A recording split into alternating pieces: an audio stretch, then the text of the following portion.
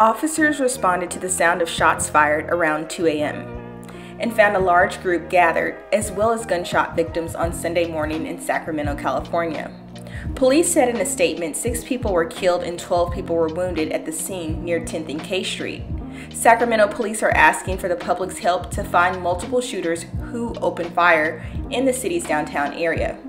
Do you think it's time for stricter gun control across the country? Or is that not necessary? What are your thoughts?